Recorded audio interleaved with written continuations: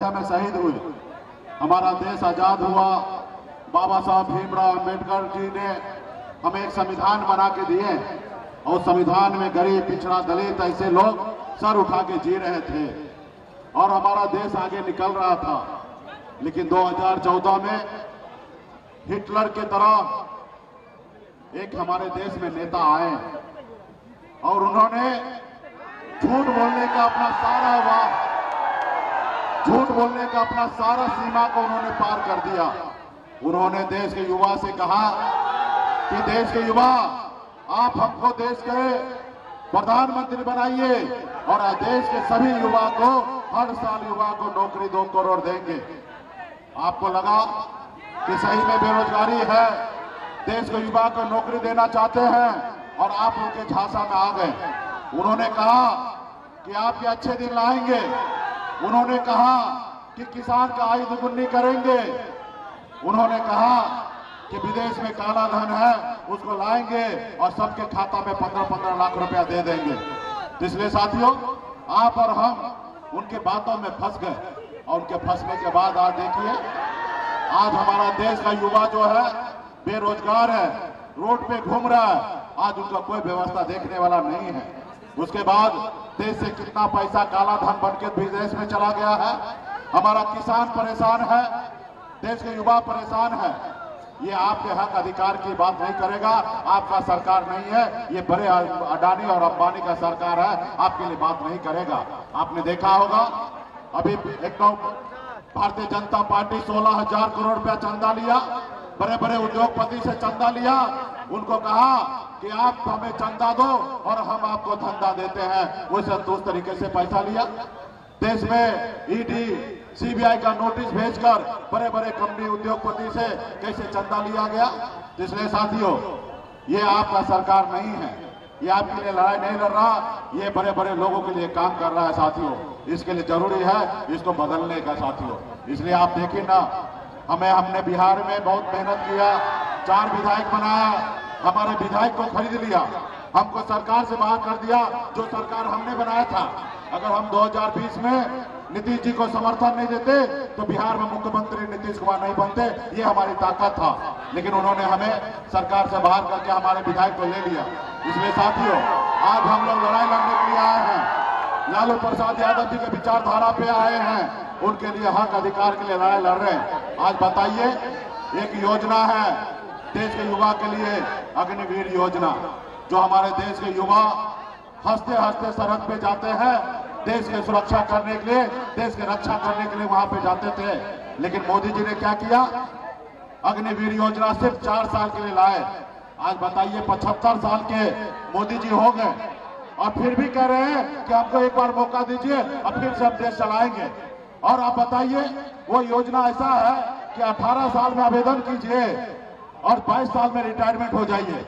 यानी कि हमारे देश का युवा 22 साल में रिटायर हो जाए, लेकिन मोदी जी 75 साल के बाद भी देश को चलाएँगे। जिस समय में हरे रामा, हरे कृष्णा का जाप करना चाहिए, ऐसे समय में वो देश चलाएँगे। इसलिए साथियों, ये आपका नहीं है। इसलिए हम लोगों ने निर्णय लिया है।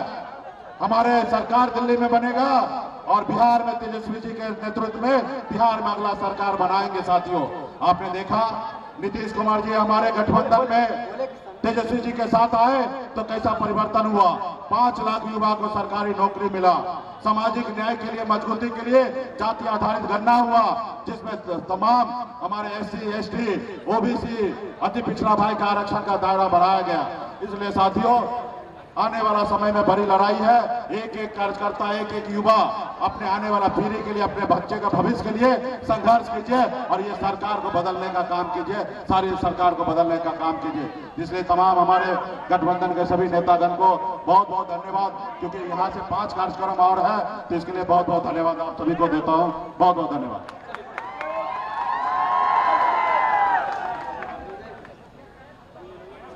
अल्पसंख्यक की ओर से माला से सम्मानित किया जा रहा। माला से। मुखिया जी कहा अरे माला ला ना तू अपना यार, जल्दी। जल्दी।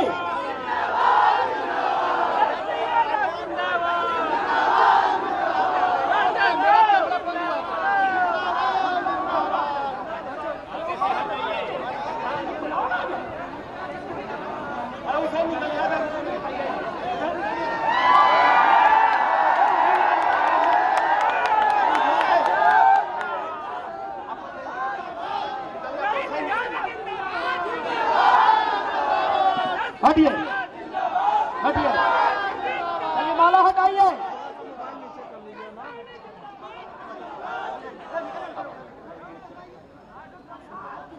प्रतिपक्ष के नेता, देश के भविष्य, युवा के जान। माननीय तेजस्वी प्रसाद यादव जी से गुजारिश करते हैं और जो है गया के जनता को संबोधित करें। तेजस्वी बाबू।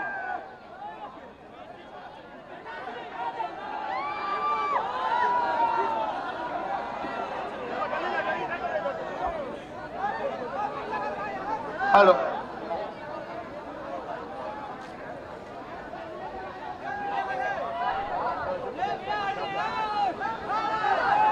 मंच पर उपस्थित हमारे बड़े भाई वीआईपी पार्टी के संरक्षक,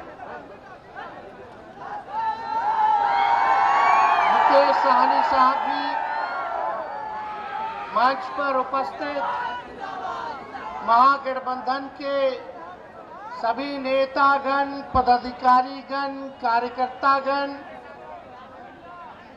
मंच पर उपस्थित लोकसभा, गया लोकसभा संसदीय क्षेत्र से महागठबंधन राष्ट्रीय जनता दल के तरफ़ से उम्मीदवार बनाए गए, जिनको लालू जी ने लालटेन थमाया है। पूर्व कृषि मंत्री, बिहार सरकार और हमारे बड़े भाई, सरबजीत पासवान जी मंच पर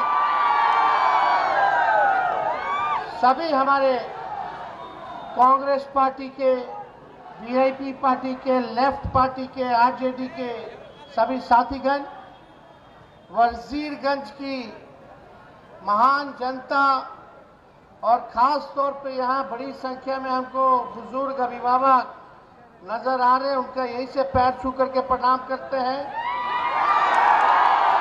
और हमार नौजवान भाई के यहीं से गले लगाने का काम करते हैं।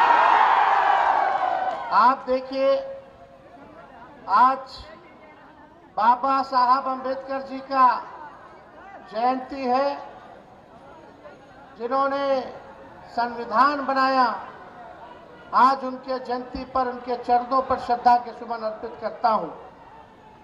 साथ ही साथ, चुनावी जनसभा में यहाँ सब लोग यहाँ आए हुए इतने गर्मी में भी आप लोग यहाँ डटे हुए हैं, आपके हौसले को हम सलाम करते हैं। आप लोग हमारी बात को सुनने आए और हम लोग बताने आए हैं कि अगर आप लोग हम लोगों को जिताइएगा तो हम लोग आपके लिए क्या काम करेंगे। आज भाजपा का घोषणा पत्र भी जारी हुआ है, लेकिन भाजपा के घोषणा पत्र में नौकरी के बारे में नहीं है, रोज़गार के बारे में नहीं है। गरीबी कैसे कम करेंगे, उसके बारे में नहीं है। बिहार के बारे में नहीं है। हमको लगा मोदी जी बिहार के लिए कुछ देंगे, लेकिन कुछ नहीं दिए। आज घोषणा पत्र जारी किए। लगा रे भाई, बिहार को विशेष राज्य का दर्जा मिल जाएगा। महँगाई को कैसे खत्म करेंगे? लेकिन 60 फ़ीसदी हमारे नौजवान इस देश में रहते हैं, और उस देश में नौजवानों के लिए कुछ नहीं। 80 फ़ीसदी हमारे इस देश पे किसान हैं, अन्नदाता हैं, पूरा देश का पेट पालते हैं। उन किसान भाइयों के लिए भी मोदी जी ने कुछ नहीं किया। तो हम आप लोगों के बीच आए इसके बाद और भी जगह जाना है। लेकिन हम आप सब लोगों के समक्ष अपनी बात को रखेंगे। आप लोग जानते हैं कि हम इसी जगह हम लोग आए थे 2020 में। हम लोगों ने वादा किया था कि अगर तेजस्वी को मुख्यमंत्री बनाओगे तो 10 लाख लोगों को सरकारी नौकरी बिहार में देंगे। चाचा जी जब बीजेपी से पलटे तो इधर आ गए। दोबारा। तो इधर आए तो माफ़ी मांगे तो हम लोग भी फिर से मुख्यमंत्री बना दिए। भाजपा को भगाना था। मुख्यमंत्री बने, हम उप मुख्यमंत्री बने। सत्रह महीने हमको काम करने का मौका मिला। कितना? मात्र सत्रह महीने। और सत्रह महीने में आपका भाई ने पाँच लाख सरकारी नौकरी देने का काम किया। जो देश में अब तक नहीं हुआ था इतनी बड़ी संख्या में, एक राज्य में तीन महीने के अंदर फॉर्म भरा गया और तीन महीने के अंदर नियुक्ति पत्र भी मिल गया। लेकिन मोदी जी से पूछोगे कि कितना दिए तो चुप्पी साध लेते हैं। क्योंकि देवे नहीं की इसलिए मेरा मानना है कि हमारा असली दुश्मन बेरोजगारी है, गरीबी है, महँगाई है। हम सब लोगों को रोज़गार देना होगा। हम सब लोगों को किसानों को भला करना होगा। आय दुगुना करना पड़ेगा। कटनी चल रहा है, फ़सल कट रहा है। उस फ़सल का उचित दाम देना होगा। हम सब लोगों को बिहार को आगे ले जाने का काम करना है। महँगाई को खत्म करना है। इसलिए आप सब लोगों को पता है कि हमारे चाचा बीच में बोलते थे, जब हम बोलते थे दस लाख देंगे तो बोलते थे, कहाँ से लाएगा? कहाँ से देगा? रोज़गार कहाँ से देगा? अपने बाप के पास से पैसा लाके वेतन बांटेगा? लेकिन हमने सत्रह महीने में किया। जीविका दीदी, आंगनबाड़ी ममता, आशा, तालमी मरकज विकास मित्र टोला सेवक, सबके मानदेव को हम लोगों ने बढ़ाने का काम किया। लेकिन इतने में हम लोग जाति आधारित गणना कराए, हम लोगों ने आरक्षण की सीमा को बढ़ाया आईटी पॉलिसी बनाया, टूरिज़्म पॉलिसी बनाया। हम लोगों ने स्पोर्ट्स नीति लाई, यानी जो खेलेगा, उसको भी हम लोगों ने सरकारी नौकरी दिया। और जो देश के लिए मेडल लाएगा वो डीएसपी भी बन सकता है, उस नीति के तहत। तो जो पढ़ा लिखा उसको भी हमने नौकरी दिया। और जो बिहार का देश का नाम लाया, मेडल लाया, खेलने कूदने में उसको भी हम लोगों ने नौकरी देने का काम किया। आज आप लोगों के बीच आए, परिवर्तन पत्र लेकर के आए तेजस्वी जो कहता है, वो करके दिखाता है। मोदी जी भले नौकरी ना दे, लेकिन आप लोग अगर इंडिया अलायंस को जिताइएगा, हमारे महागठबंधन को जिताइएगा, भारत में हमारी सरकार बनेगी तो पूरे देश में 15 अगस्त जो आने वाला है 15 अगस्त को क्या हुआ था? हम लोगों को आज़ादी मिली थी तो आने वाला 15 अगस्त से बेरोजगारी से आज़ादी दिलाएँगे और एक करोड़ लोगों को देश भर में नौकरी देने का काम करेंगे। एक करोड़। कितना? कितना? ज़ोर से बोले, कितना? जब डिप्टी सीएम रहते हुए सत्रह महीने में खाली एक राज्य में अगर हम पाँच लाख नौकरी दे दिए तो पूरे देश भर में हमारा गठबंधन जब सरकार बनेगा तो एक करोड़ लोगों को सरकारी नौकरी मिलेगी। और सुनो, अगर चाचा नहीं पलटे होते तो अब तक दस लाख हम पूरा कर दिए होते। अब पलट गए तो पलट गए जहाँ रहे, स्वस्थ रहे, सुखी रहे, बुज़ुर्ग है, अभिभावक है। और यही नहीं, आने वाला रक्षाबंधन में हम लोगों ने बोला है प्रण लिया है कि गरीब परिवार की हमारी बहन को, बेटियों को, जो गरीब परिवार है, हर साल एक लाख रुपया उन बहनों को हम लोग देने का काम करेंगे। गैस सिलेंडर पाँच सौ रुपया हम लोग कर देंगे, पाँच सौ कर देंगे गैस सिलेंडर। बिजली कितना महँगा है है कि नहीं? हमारी सरकार बनेगी गठबंधन की सरकार बनेगी, इंडिया अलायंस की सरकार बनेगी तो 200 यूनिट फ्री में बिजली हम लोग देने का काम करेंगे। बिहार में पाँच जगह नया एयरपोर्ट बनाएँगे।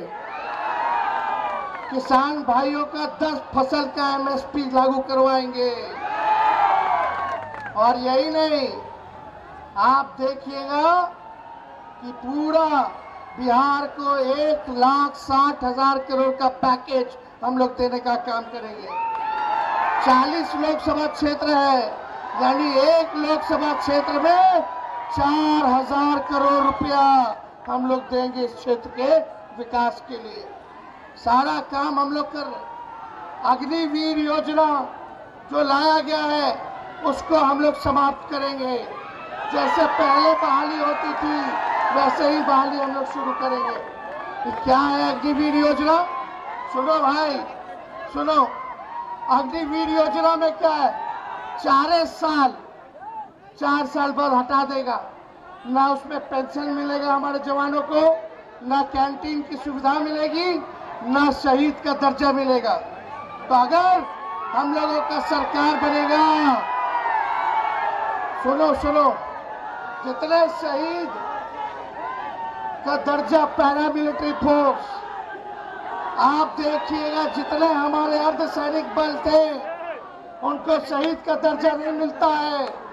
इंडिया की सरकार बनेगी तो जितने सीआईएसएफ वाले सीआरपीएफ वाले आईटीबीपी वाले, जितना पैरामिलिट्री फोर्स है, उन सभी लोगों को शहीद का दर्जा भी हम लोग दिलाने का काम करेंगे। इसलिए हम लोग जो काम करने जा रहे हैं वो आप लोग जान रहे हैं। लेकिन यहाँ से आप लोगों को सरबजीत जी को जिताना पड़ेगा। बोध गया जाके देखिए बोध गया के विधायक भी है। वहाँ एक ऐसा गाँव नहीं जहाँ इन्होंने रोड अब पुलिया ना बनाने का काम किया हो। आपको ऐसे ही ईमानदार नौजवान आदमी चाहिए जो काम कर सके। तो इसलिए आप लोगों से अपील करते हैं कि इनको भारी मतों से आप लोग जिताने का काम कीजिए। तो जिताना है कि नहीं जिताना है? चुपचाप चुपचाप चुपचाप तो आप सब लोगों को हम तहे दिल से बधाई देते हैं, धन्यवाद देते हैं और याद रखिएगा, आने वाला 15 अगस्त को बेरोजगारी से आज़ादी। एक करोड़ लोगों को हम लोग नौकरी देने का काम करेंगे। तो इसलिए आप सब लोगों का अगर आशीर्वाद हो तो बताइए विजय का माला पहना दे। दोनों हाथ उठा करके बताइए। चलिए आप सब लोगों का बहुत धन्यवाद। जय हिंद, जय बिहार।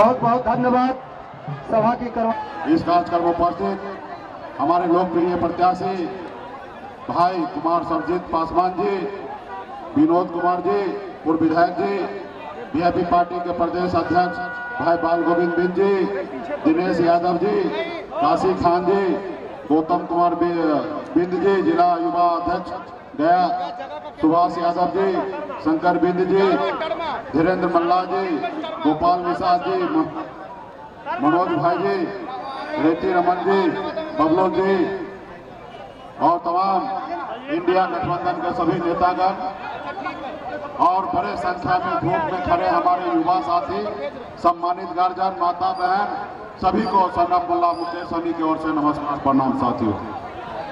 साथियों, ये चुनावी सभा है, लेकिन आज हम लोग मानते हैं कि हम लोग देश की आज़ादी की लड़ाई लड़ रहे हैं, साथियों। ऐसे तो हमारे पूर्वज ने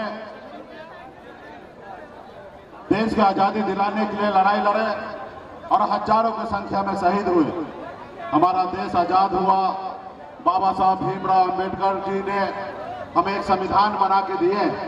और संविधान में गरीब, पिछड़ा, दलित ऐसे लोग सर उठा के जी रहे थे। और हमारा देश आगे निकल रहा था।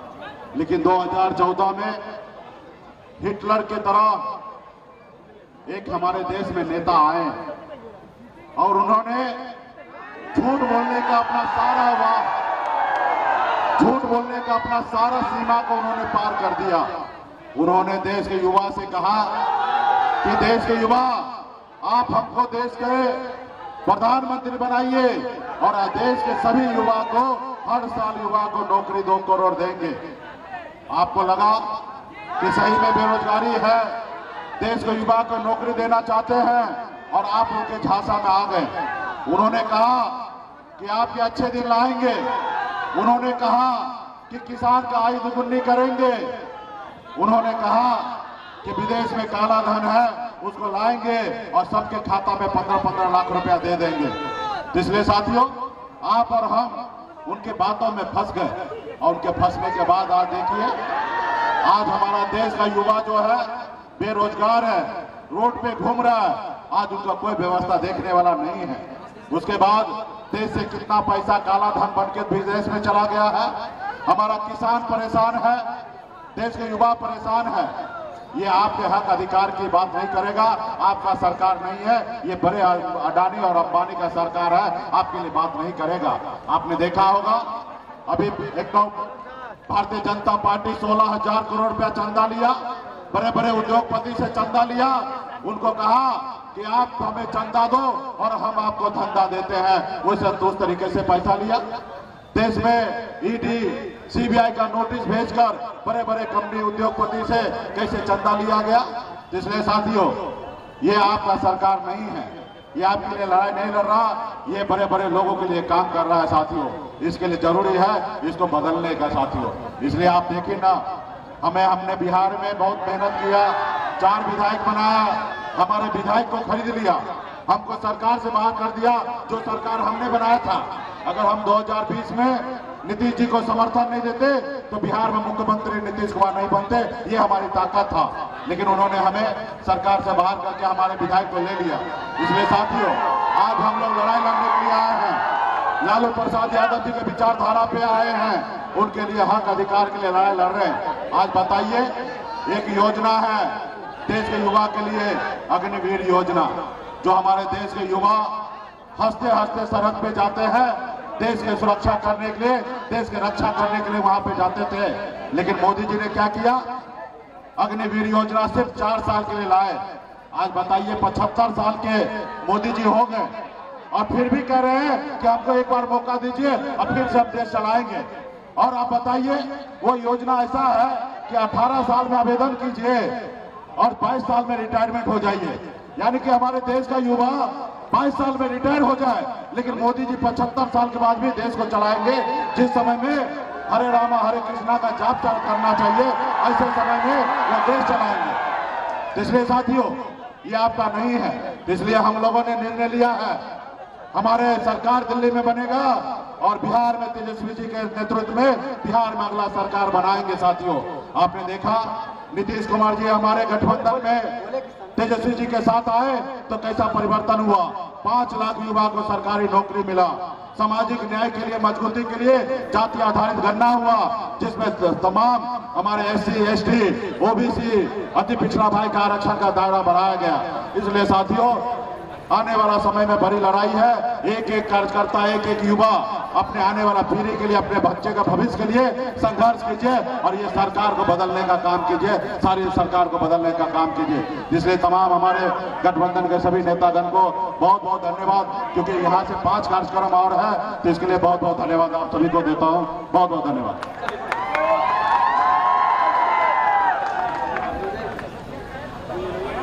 अल्पसंख्यक की ओर से माला से सम्मानित किया जा रहा। माला से। मुखिया जी कहा है? अरे माला ला लो तू अपना यार जल्दी। जल्दी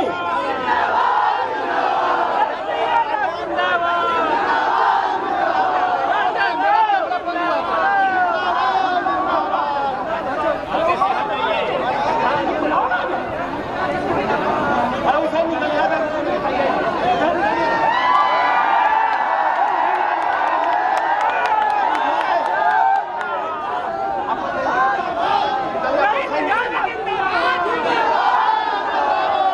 हटिए हटिए ये माला हटाइए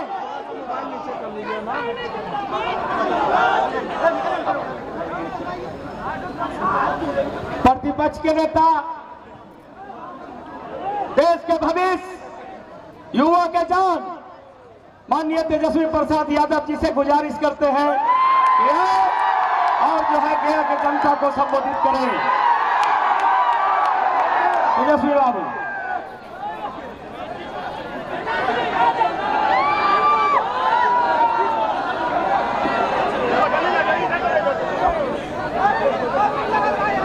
हेलो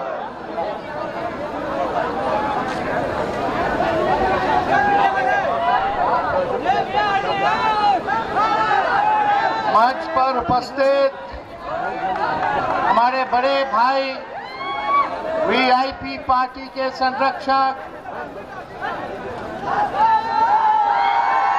मुकेश सहनी साहब भी मंच पर उपस्थित महागठबंधन के सभी नेतागण, पदाधिकारीगण, कार्यकर्तागण मंच पर उपस्थित लोकसभा, गया लोकसभा संसदीय क्षेत्र से महागठबंधन राष्ट्रीय जनता दल के तरफ़ से उम्मीदवार बनाए गए, जिनको लालू जी ने लालटेन थमाया है। पूर्व कृषि मंत्री, बिहार सरकार और हमारे बड़े भाई, सरबजीत पासवान जी मंच पर सभी हमारे कांग्रेस पार्टी के वीआईपी पार्टी के, लेफ़्ट पार्टी के आरजेडी के सभी साथीगण, वजीरगंज की महान जनता और खास तौर पे यहाँ बड़ी संख्या में हमको बुज़ुर्ग अभिभावक नज़र आ रहे हैं। उनका यहीं से पैर छू करके प्रणाम करते हैं। और हमार नौजवान भाई के यहीं से गले लगाने का काम करते हैं। आप देखिए, आज बाबा साहब अंबेडकर जी का जयंती है, जिन्होंने संविधान बनाया। आज उनके जयंती पर, उनके चरणों पर श्रद्धा के सुमन अर्पित करता हूँ। साथ ही साथ चुनावी जनसभा में यहाँ सब लोग यहाँ आए हुए इतने गर्मी में भी आप लोग यहाँ डटे हुए हैं। आपके हौसले को हम सलाम करते हैं। आप लोग हमारी बात को सुनने आए। और हम लोग बताने आए हैं कि अगर आप लोग हम लोगों को जिताइएगा तो हम लोग आपके लिए क्या काम करेंगे? आज भाजपा का घोषणा पत्र भी जारी हुआ है। लेकिन भाजपा के घोषणा पत्र में नौकरी के बारे में नहीं है रोज़गार के बारे में नहीं है। गरीबी कैसे कम करेंगे उसके बारे में नहीं है। बिहार के बारे में नहीं है। हमको लगा मोदी जी बिहार के लिए कुछ देंगे लेकिन कुछ नहीं दिए। आज घोषणा पत्र जारी किए। लगा रे भाई, बिहार को विशेष राज्य का दर्जा मिल जाएगा। महँगाई को कैसे खत्म करेंगे? लेकिन 60 फ़ीसदी हमारे नौजवान इस देश में रहते हैं और उस देश में नौजवानों के लिए कुछ नहीं। 80 फ़ीसदी हमारे इस देश पे किसान हैं, अन्नदाता हैं। पूरा देश का पेट पालते हैं। उन किसान भाइयों के लिए भी मोदी जी ने कुछ नहीं किया।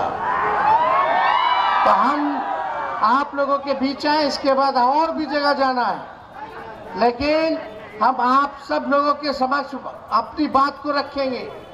आप लोग जानते हैं कि हम इसी जगह हम लोग आए थे 2020 में। हम लोगों ने वादा किया था कि अगर तेजस्वी को मुख्यमंत्री बनाओगे तो 10 लाख लोगों को सरकारी नौकरी बिहार में देंगे। चाचा जी जब बीजेपी से पलटे तो इधर आ गए। दोबारा। तो इधर आए तो माफ़ी मांगे तो हम लोग भी फिर से मुख्यमंत्री बना दिए। भाजपा को भगाना था। मुख्यमंत्री बने, हम उप मुख्यमंत्री बने। सत्रह महीने हमको काम करने का मौका मिला। कितना? मात्र सत्रह महीने। और सत्रह महीने में आपका भाई ने पाँच लाख सरकारी नौकरी देने का काम किया। जो देश में अब तक नहीं हुआ था इतनी बड़ी संख्या में, एक राज्य में तीन महीने के अंदर फॉर्म भरा गया और तीन महीने के अंदर नियुक्ति पत्र भी मिल गया। लेकिन मोदी जी से पूछोगे कि कितना दिए तो चुप्पी साध लेते हैं। क्योंकि देवे नहीं की इसलिए मेरा मानना है कि हमारा असली दुश्मन बेरोजगारी है, गरीबी है, महँगाई है। हम सब लोगों को रोज़गार देना होगा। हम सब लोगों को किसानों को भला करना होगा, आय दुगुना करना पड़ेगा। कटनी चल रहा है, फ़सल कट रहा है। उस फ़सल का उचित दाम देना होगा। हम सब लोगों को बिहार को आगे ले जाने का काम करना है। महँगाई को खत्म करना है। इसलिए आप सब लोगों को पता है कि हमारे चाचा बीस में बोलते थे, जब हम बोलते थे दस लाख देंगे तो बोलते थे, कहाँ से लाएगा? कहाँ से देगा? रोज़गार कहाँ से देगा? अपने बाप के पास से पैसा लाके वेतन बांटेगा? लेकिन हमने सत्रह महीने में किया। जीविका दीदी, आंगनबाड़ी ममता, आशा, तालमी मरकज विकास, मित्र, टोला सेवक, सबके मानदेव को हम लोगों ने बढ़ाने का काम किया। लेकिन इतने में हम लोग जाति आधारित गणना कराए, हम लोगों ने आरक्षण की सीमा को बढ़ाया आईटी पॉलिसी बनाया, टूरिज़्म पॉलिसी बनाया। हम लोगों ने स्पोर्ट्स नीति लाई, यानी जो खेलेगा, उसको भी हम लोगों ने सरकारी नौकरी दिया। और जो देश के लिए मेडल लाएगा वो डीएसपी भी बन सकता है, उस नीति के तहत। तो जो पढ़ा लिखा उसको भी हमने नौकरी दिया।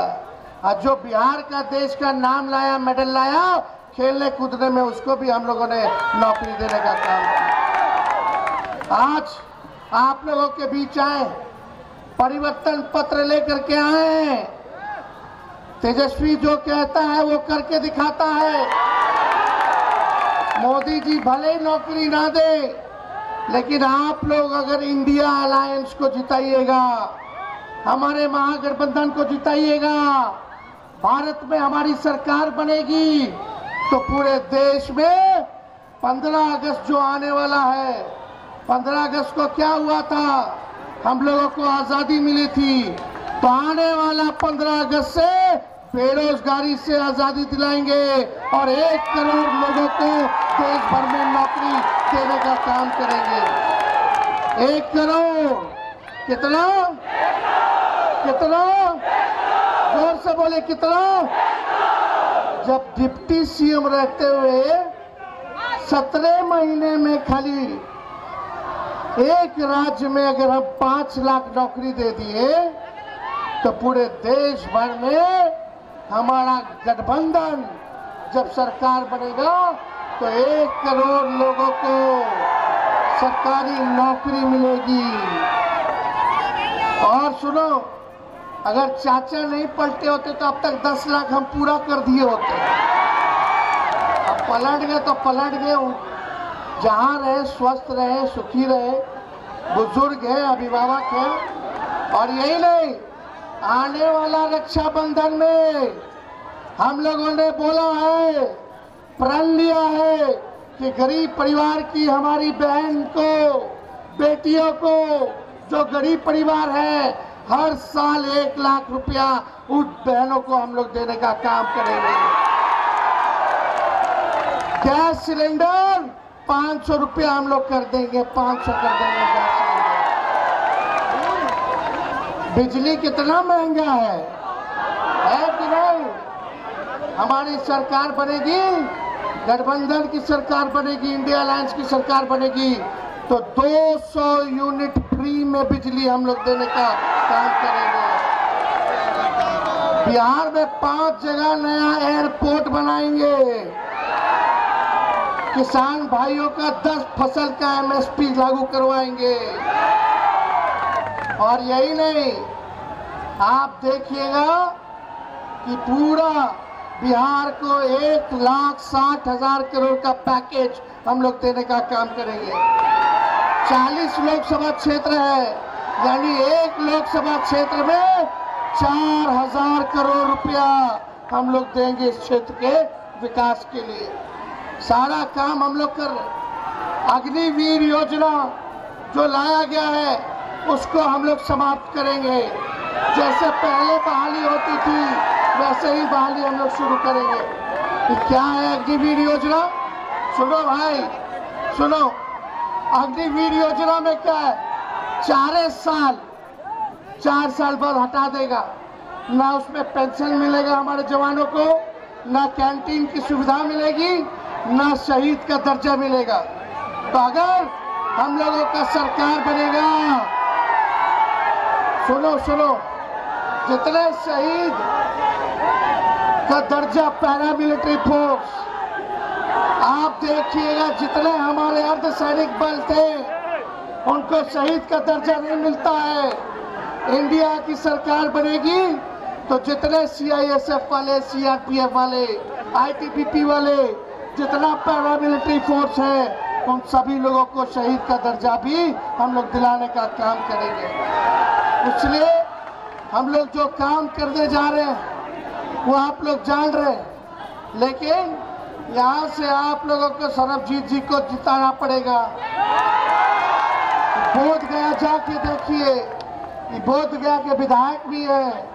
वहाँ एक ऐसा गाँव नहीं जहाँ इन्होंने रोड अब पुलिया ना बनाने का काम किया हो। आपको ऐसे ही ईमानदार नौजवान आदमी चाहिए जो काम कर सके। तो इसलिए आप लोगों से अपील करते हैं कि इनको भारी मतों से आप लोग जिताने का काम कीजिए। तो जिताना है कि नहीं जिताना है? चुपचाप चुपचाप चुपचाप तो आप सब लोगों को हम तय दिल से बधाई देते हैं, धन्यवाद देते हैं, और याद रखिएगा, आने वाला 15 अगस्त को बेरोजगारी से आज़ादी। एक करोड़ लोगों को हम लोग नौकरी देने का काम करेंगे। तो इसलिए आप सब लोगों का अगर आशीर्वाद हो तो बताइए, विजय का माला पहना दे। दोनों हाथ उठा करके बताइए। चलिए, आप सब लोगों का बहुत धन्यवाद। जय हिंद, जय बिहार। 操他